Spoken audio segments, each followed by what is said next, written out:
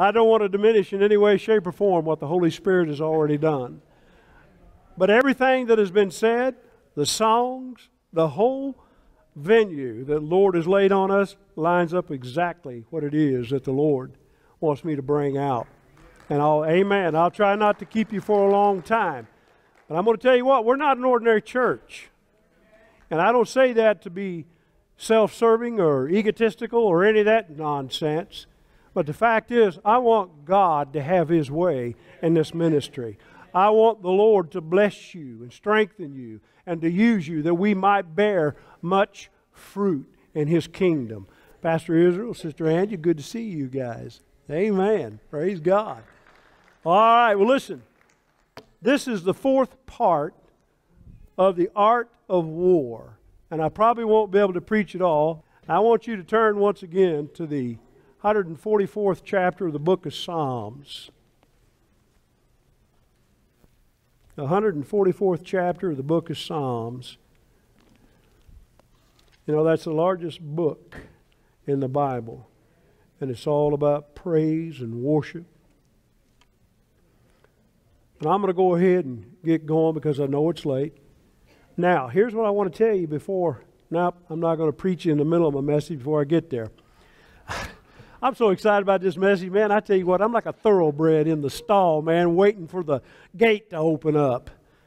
It said, Blessed be the Lord my strength, who teaches my hands to war and my fingers to fight, my goodness and my fortress, my high tower and my deliverer, my shield, and he in whom I trust, who subdues my people under me. Heavenly Father, once again, as we come before you, we come with our hearts lifted up, a praise in our mouth, Father. You are worthy of all. And I pray once again, Father, as I step aside, I'm praying for the true teacher, the anointing, Father, to come, that your people might be blessed and edified and fed, Father, from your pastures. Oh, hallelujah. God, you know my heart. And you know the hearts of your people, Father, for it cannot be hidden. And I'm asking once again, Lord, that you would anoint them to hear. And Satan, I take authority over you by the shed blood of Jesus Christ and over all the powers of darkness that you'll not steal that which is meant for the children. And once again, Father, I ask that Christ and Christ alone be exalted in this house, and I ask it in the name of Jesus. Amen and amen.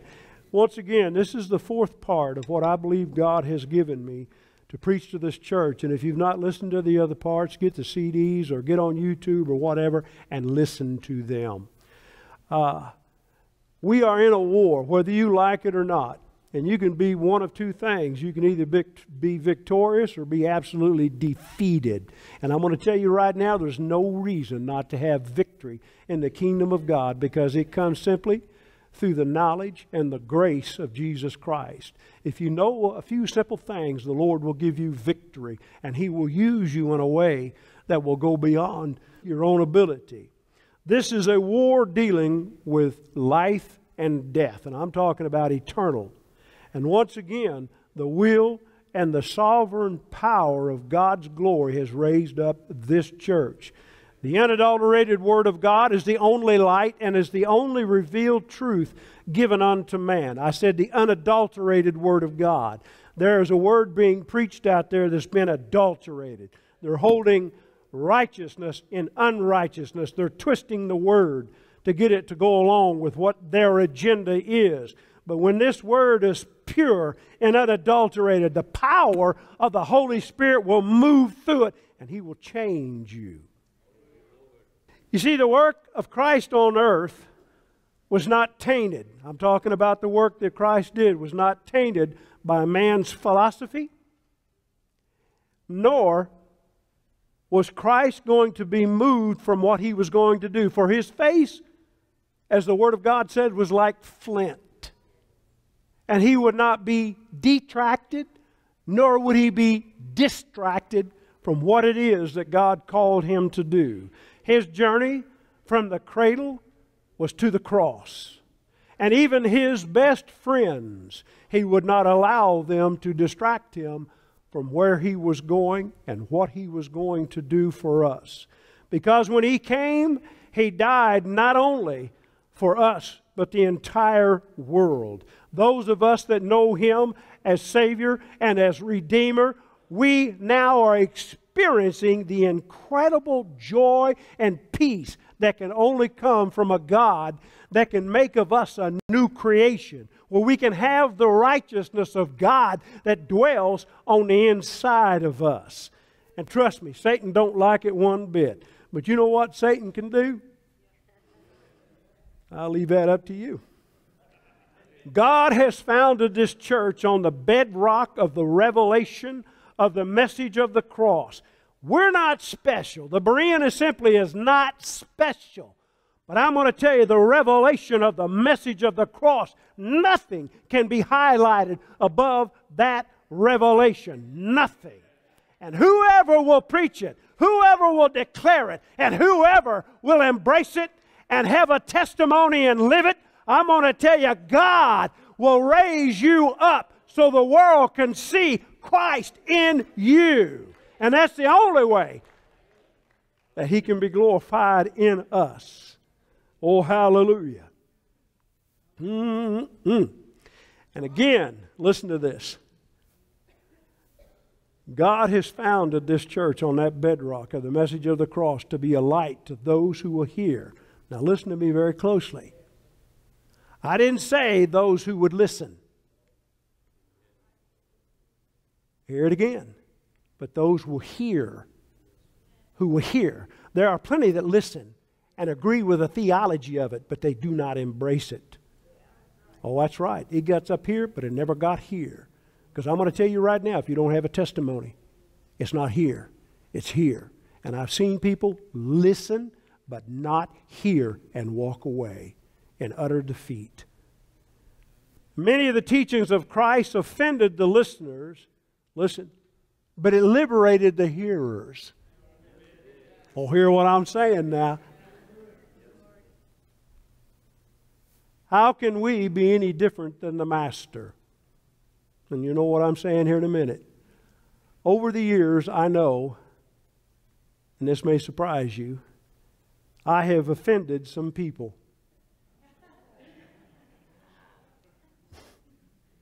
By pointing out the false doctrines that are birthed by seducing spirits.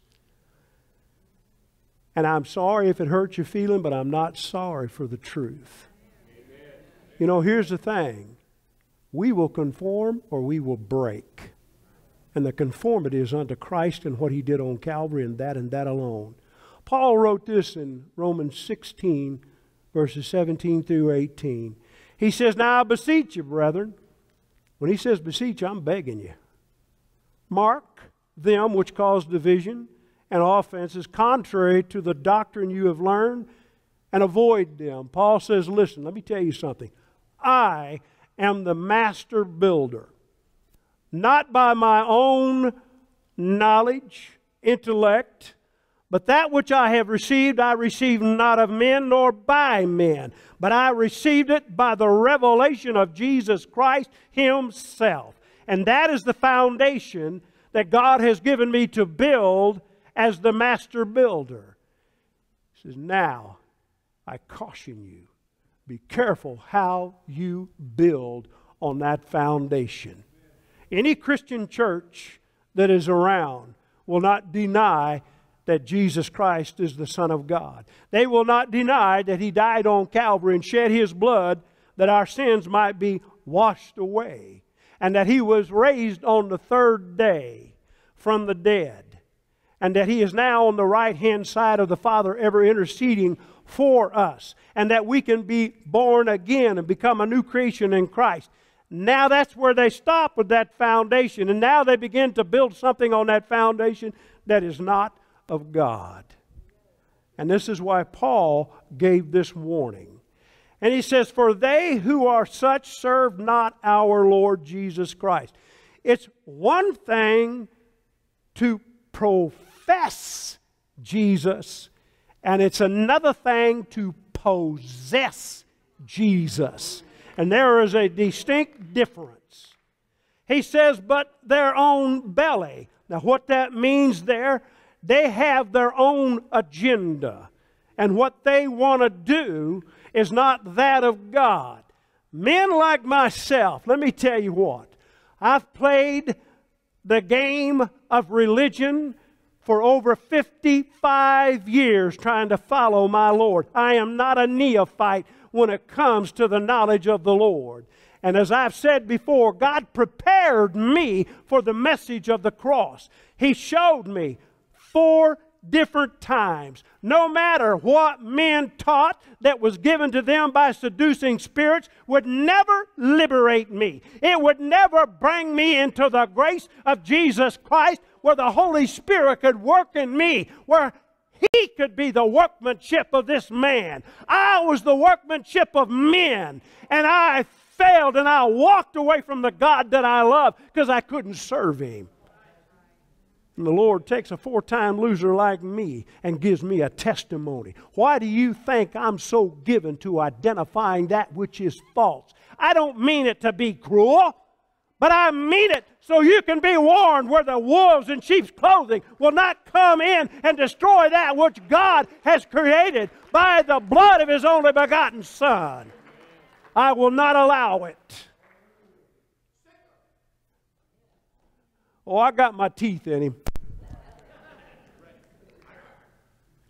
And here's how they do it by good words and fair speech, deceive the hearts of the simple.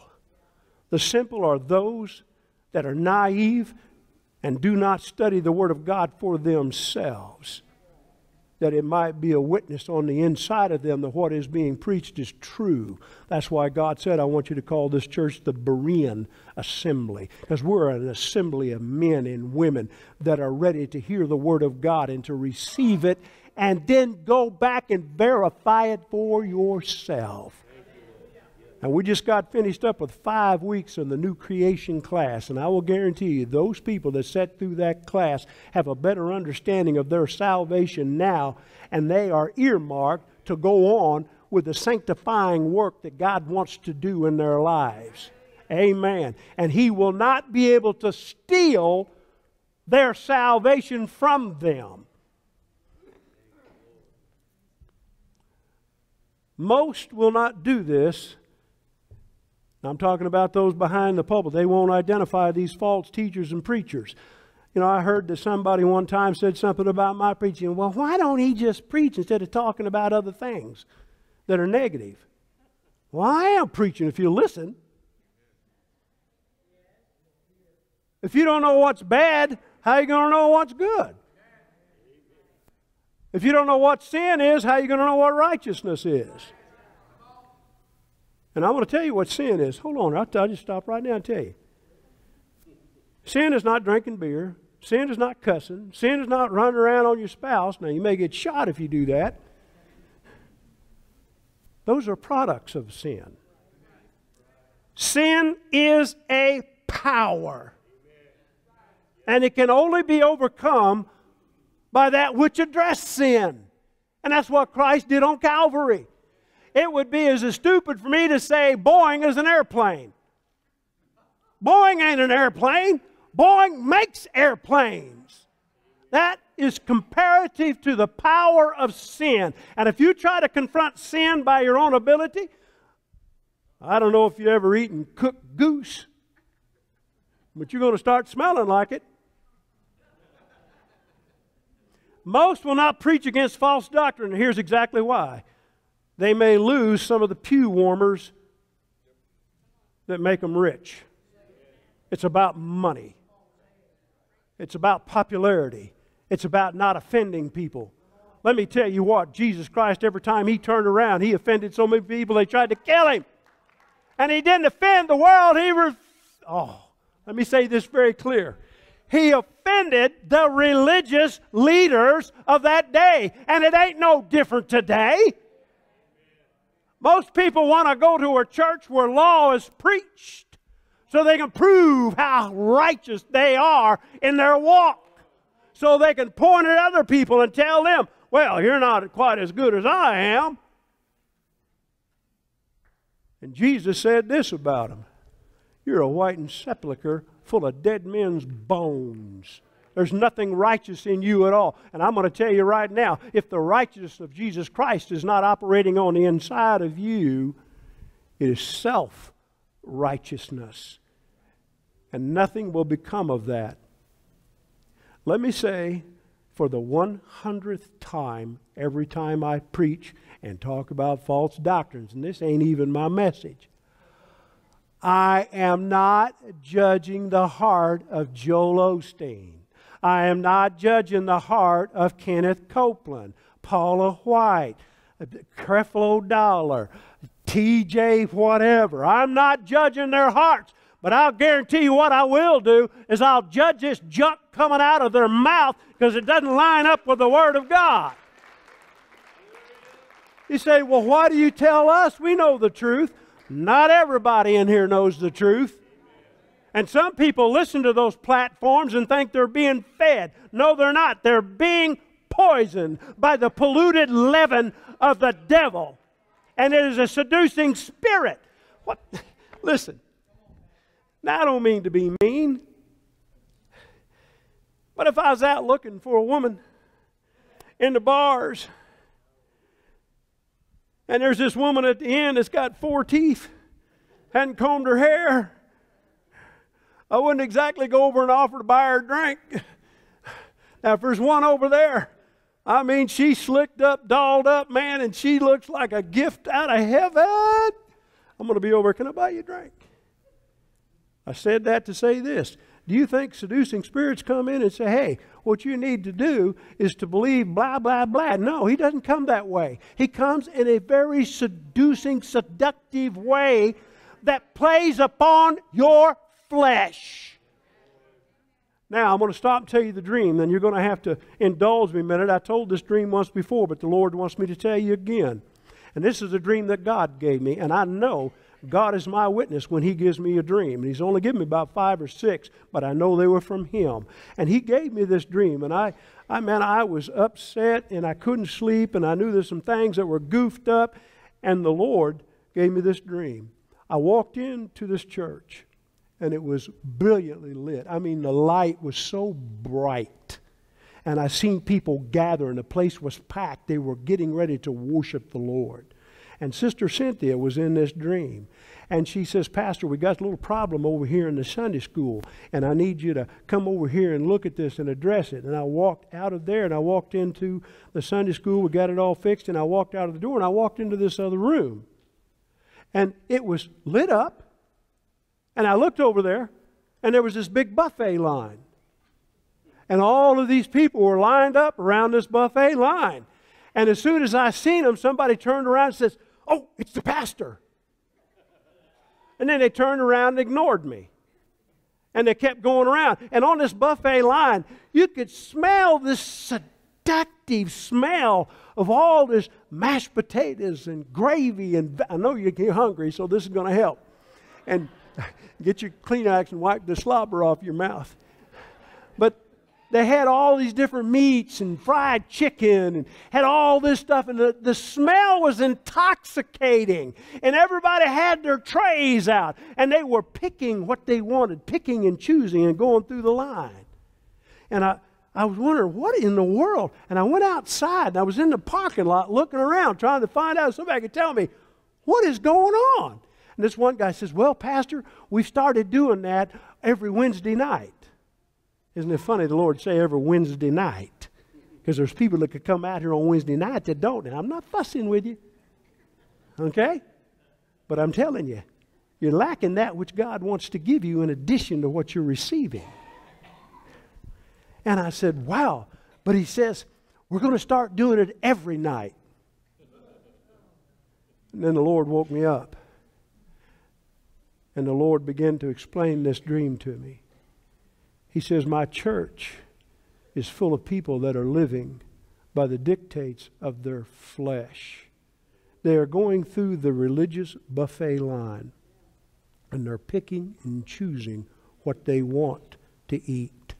Not what I want to give them, but what they want to eat. And the church is full of that today. That's why people say, well, we're looking for a good church. And I heard somebody say, and I might have been Brother Hargrave, quit looking for a church and start looking for God. You hear what I'm saying? Stop looking for a church and start looking for God. And the Lord showed me that dream to let me know how sick the church really is. As a matter of fact, he tells us in the book of Revelation, chapter 3, we find Christ on the outside of the church, knocking, trying to get inside the church. Now, I'm commanded to be a watchman, just like Brother Tom was talking about. And I will defend the flock of God with truth. Paul said this in Galatians 1 and 10. He said, Am I here to preach the things of God, or am I here to preach the things of man? For if I please men, I cannot be a servant of God. What you will get out of me is that which is backed by the Word of God. And if there's anything that I preach that's not of the Word of God, as a true Berean, if you don't come to me and put me on the carpet and challenge what I said, you're not a good Berean. Matter of fact, I had Brother Tom's daughter come up to me after a service one time, and she says, You're wrong. I said, I am. She said, Yes, you are. It wasn't Rachel that was the lineage of David, it was Leah. And I said, You know, you're right. I misspoke. Now, that's a true Berean right there. Because she wasn't going to let false, you know, stuff just be said. And I expect you to do the exact same thing. And you won't hear that from pastors behind the pulpit. You go to them and try to correct them, and I tell you what, you may be looking for another church to go to. I'm a fellow servant, even as you. I'm nothing special. We each are a part of the body of Christ, and we have a responsibility. Now, I'm going to tell you something the Lord showed me. And He had me write it down exactly word for word as how He wanted spoke. Listen to this very closely. The sad thing is, some will compromise their relationship with God in order to better their relationship with man. I'm going to say that again because I want you to hear it. The sad thing is, some will compromise their relationship with God in order to better their relationship with man. Now, let me tell you exactly what I'm talking about. People that chooses churches, they choose it for the wrong reason. And I'm going to tell you right now if the Holy Spirit didn't bring you to this church and have you to be a part of it, you're in the wrong church. If you go someplace else where the Holy Spirit has not directed you, you're going to find yourself in a lot of trouble.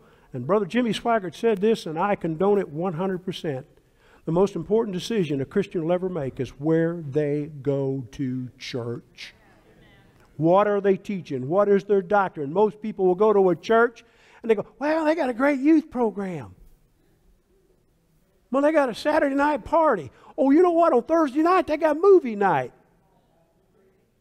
They're at the buffet line picking and choosing the garbage they want to put into their spirits.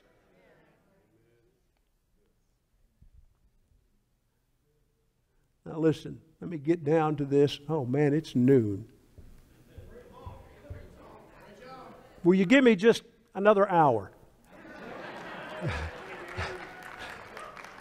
I want everybody to stand up for a minute. I'm going to preach about another 20 minutes. We're a Pentecostal church. I just want you to stand up, turn around, do this, say, wake up.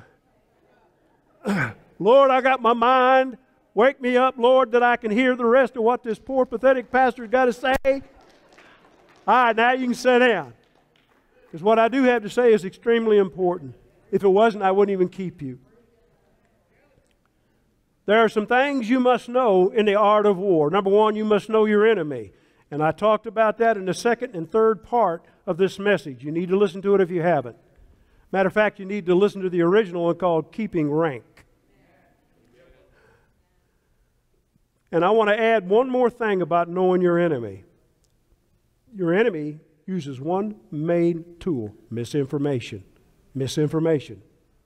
And he uses it all different ways.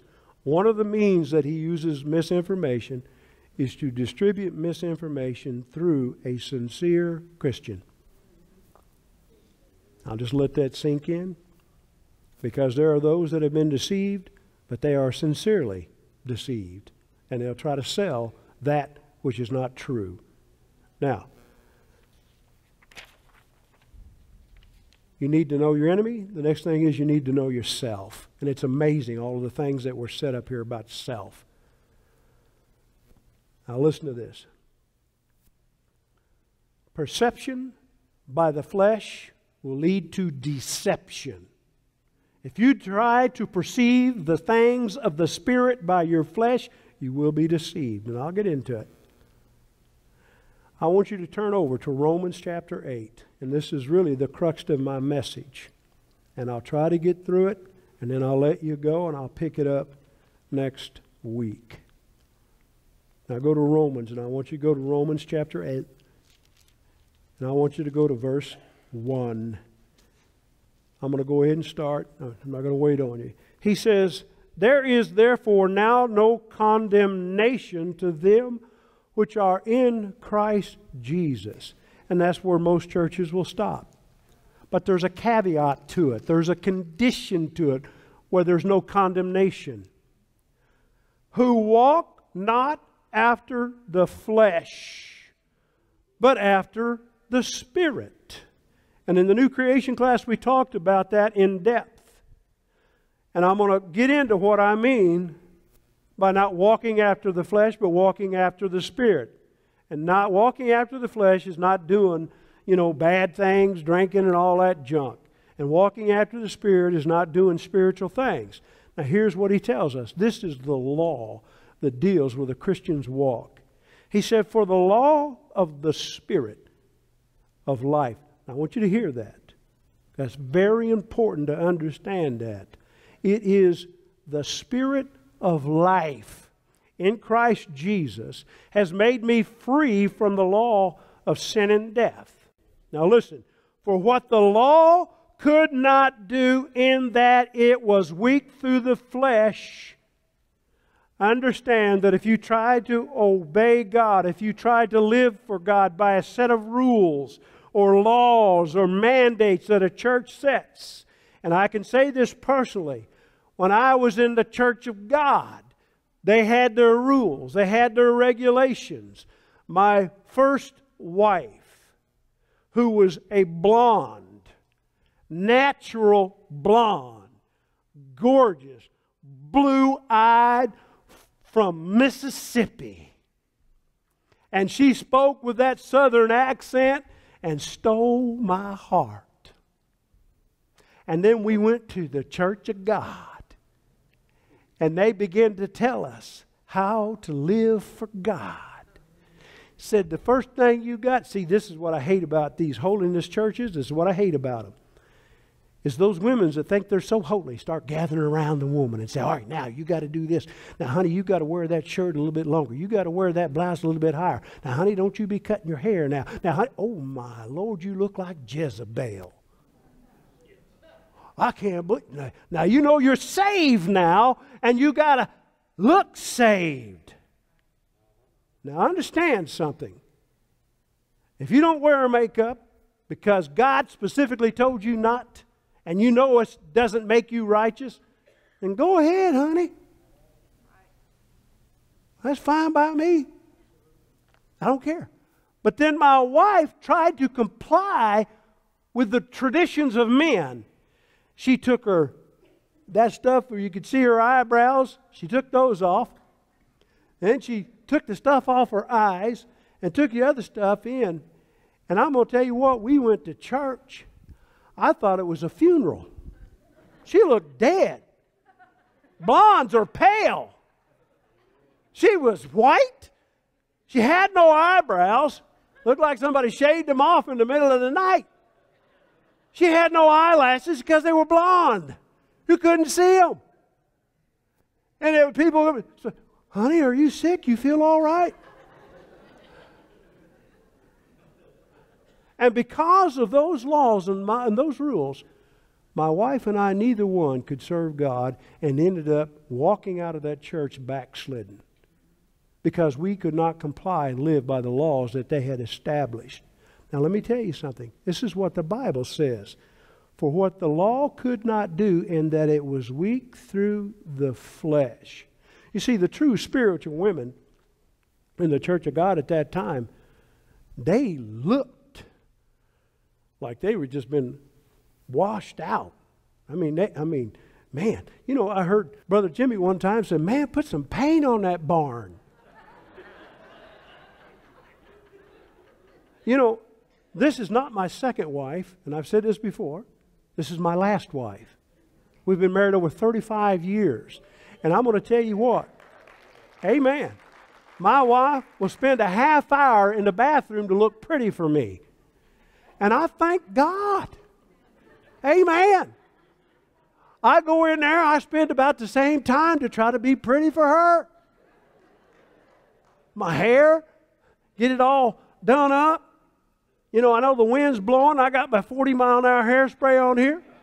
Man, I got out in the wind and it was like a helmet. It just. But God doesn't expect us to look ugly just to be holy. My Lord.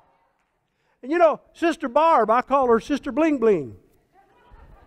Man, she puts the jewelry stuff on. She looks sharp with that stuff on, man. She doesn't wear it so she can show off and say, hey, look what I got? You know, they say, well, if you wear makeup, you'll be like Jezebel. No, you won't be. Because when Jezebel took her makeup off, she still had the heart of Jezebel. You take the makeup off somebody that has the heart of Jezebel, and they'll still be Jezebel. But this is my point. Man, I got to get on here.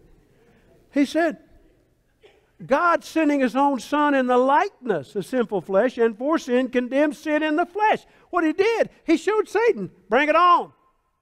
I'm here representing man. Now do your best.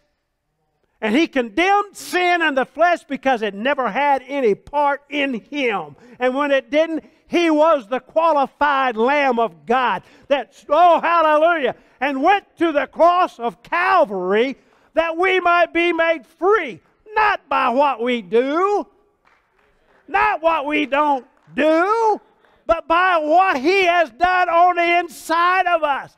We're His workmanship, not you. My Lord, I hope that's clear. Now listen to this.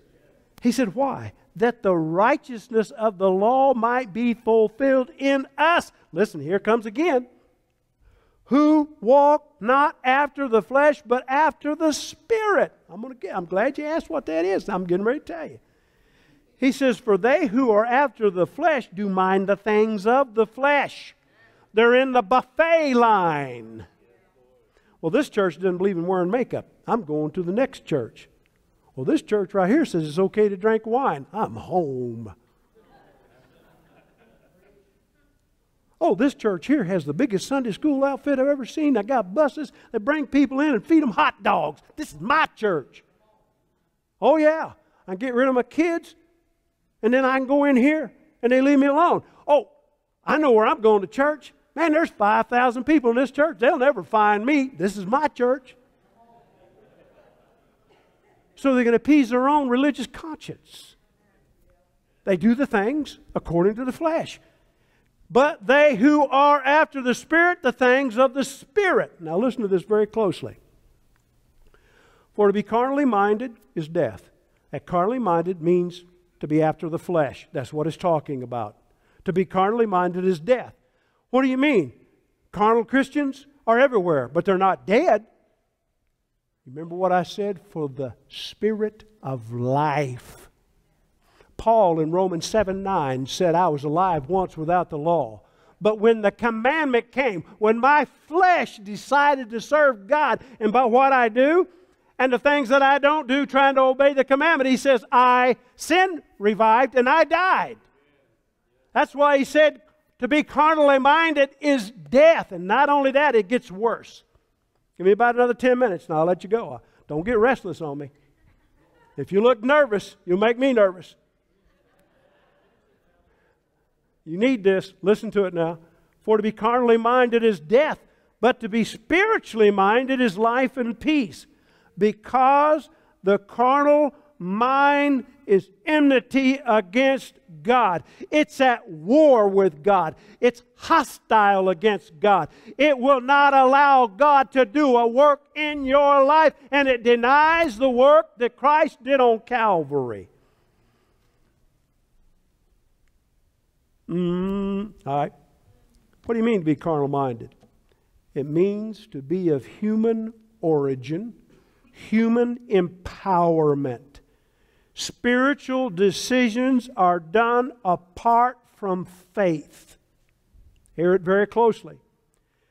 Independent from God's inner working. God has nothing to do with it. This is unaided human effort that proceeds from that which is self empowered. That's what he's talking about here. And it says, So then they that are in the flesh cannot please God. And that's in verse 8 of Romans 8. I'm going to read one more scripture to you and then I'm going to let you go. Because I can sense a little unrest. Listen to this. Oh, I don't want to say this. I don't want the carnal Christians in here getting uneasy and nervous now. I'm not going to say everybody's spiritual, raise your hands, because that wouldn't be right. All right. Because some of you lie. now, listen to the first verse that I read. Listen. It says here, There is therefore now no condemnation to them which are in Christ Jesus, who walk not after the flesh, but after the Spirit. That condemnation comes from yourself because you are continuously walking in defeat. There is no way to have victory. My question is this to every church out there that does not understand this message of the cross, I would ask them, are the people in your church defeated by sin? The answer has to be irrevocably yes. Because if they are getting victory over sin without the message of the cross, then the message of the cross is a fraud. But I know it's not a fraud because I have a testimony. They can lie about being defeated by sin, but I know they are. Now, what they may define as sin is different than what God defines as sin. They are being defeated by it. Now, when I talk about the flesh, and I told you guys last week, some people say, well, you got to die to self. That is not Scripture. There's no such scripture as dying to self. It's called deny yourself. That's what Christ said. And take up your cross and follow me daily. Take it up daily. Now, here's what I want to say about the flesh. Here in Galatians 5:24 it says, "They who are Christ have crucified the flesh with the affections and lust." What that's talking about there, my desire to be looked at as something spiritual. That's the lust of your flesh, the affection of people looking at you and say, Oh, you're such a great Christian. Oh, look at her. Her hair is, you know, Sister Michelle, boy, you make a good Pentecostal girl. You take that makeup off. That hair is down here, man. I'm telling you. But see, we crucify the flesh. That means our effort that is self empowered to try to live for God. Now, think about this. Man, this, this, is, this is the revelation of the message of the cross. If you are confronting sin, you're in the flesh. Hear what I'm saying? If you are trying to confront sin head on, oh, I can't do that. I, I got to quit. I got to quit. The Holy Spirit will not work in your life. That was the perfect peace that I came into when I finally found out what it means to be setting with Christ in heavenly places. Christ is at rest, His work is done. His work is done, it's complete. And if I'm trying to confront sin head on, I was constantly defeated. All that was on my mind, well, I shouldn't do this, and I got to do this, and uh, you know, I can't look at porn. Oh, and, and I stop, I repent, I cry, and, and then I got that porn site on my favorites. So I don't have to look for it again. Oh, I know what I'm talking about. And as I tried to confront sin head on, I was carnally minded. I was being hostile to the work that Christ did on Calvary. If you've got a problem with sin, quit trying to confront sin. What you got to do is walk in the Spirit. You have got to crucify the flesh with its lust and its affections to overcome sin in your own power and ability because you are hostile. You are at war with God. God says, I've got it all done on Calvary by Jesus Christ. If you will believe, you see, that's walking in the Spirit. That's walking in the Spirit, and that is hard for man to do because they want to be a part of what God is doing to sanctify them and I got news for you. You can't do it. All will happen is you'll be at war with God. You will fight against the very thing that His Son gave His life for. And that was to not only save us, but to continue to save us and to sanctify us to His glory. And here's what the last verse is I'm going to read, and I'm going to let you go. He says in verse 25 If we live in the Spirit, that talks about you have gained your life through what Christ did on Calvary and you're born again. Now, you are living in the Spirit. You see, that life that you have, that new creation that you are, didn't come from your efforts. It didn't do because you were the best Boy Scout on the block. You didn't obtain righteousness in your own efforts. The way you got it was through Jesus Christ dying on Calvary and you believing in that. That's the only way you could be born again. There is no other way. He says, if you're going to live in the Spirit, hey, I got it. Paul says, under the unction of the Holy Spirit, say, hey, I got an idea for you. Why don't you walk in the Spirit? And Colossians 2 6 says this As you have received Christ Jesus, so walk ye therein. Walk in Him. And the simplicity behind this message is faith and grace. And the object of your faith is Christ and what He did on Calvary. If you walk in the flesh, you are fighting against the God who is the author and finisher of your faith. Stand to your feet.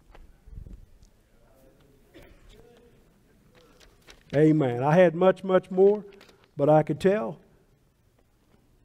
that we're done.